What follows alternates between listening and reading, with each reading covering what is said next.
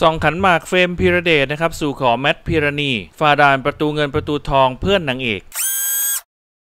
ถือเลิกดีวันนี้นะครับ 11 สิงหาคม เข้าพิธีมั่นตามแบบประเพณีไทยนะฮะสำหรับนางเอก ขึ้นแทนเจ้าสาวป้ายแดงแมทพิรณีคงไทยนะครับ กับเจ้าบ่าวสุดหล่อเฟรมพิมเดชศิวพรพิทักษ์นะครับ โดยบรรยากาศในช่วงเช้า ฝ่ายเจ้าบ่าวได้แห่ขบวนขันหมากมาสู่ขอเจ้าสาวแมท ซึ่งในขบวนขันหมากนะครับก็ต้องบอกว่าคืนเคงมาก ๆ มีคุณพ่ออภิรัตอดีตผู้ช่วยปลัดกรุงเทพมหานคร และคุณแม่ของเจ้าบ่าวนะครับรวมถึงพี่น้องคนดัง อย่างฟานอัคลิน เชฟฟินนำทีมขบวนตามด้วยหนุ่มๆเพื่อนของเจ้าบ่าวเฟมนะฮะที่มาสร้างสีสันกันอย่างสนุกสนานเลยทีเดียว และไฮไลท์ของการแห่ขันหมากนะฮะนั่นก็คือเจ้าบ่าวเฟมนะครับต้องผ่าด่านประตูเงินประตูทอง จากเพื่อนเจ้าสาว อย่างน้องแต้วณฐพรนะฮะมิ้นต์ชาลิดาและมิวนิษฐาก็ต้องบอกว่าเจ้าตัวก็ต้องปาดเหงื่อไปเหมือนกันนะครับเพราะต้องตอบคำถามเกี่ยวกับเจ้าสาวแมทซึ่งถ้าตอบผิดก็ต้องแจกซองเพิ่มตอบถูกถึงจะได้ไปเจอกับเจ้าสาวนะฮะและแต่ละด่านนะครับก็มีความโหดและน่ารักไปพร้อมๆ กันก็ขอแสดงความยินดีด้วยนะครับ ขอบคุณข้อมูลดีๆจากสนุก .com และขอขอบคุณเพื่อนๆติดตามด้วยนะครับ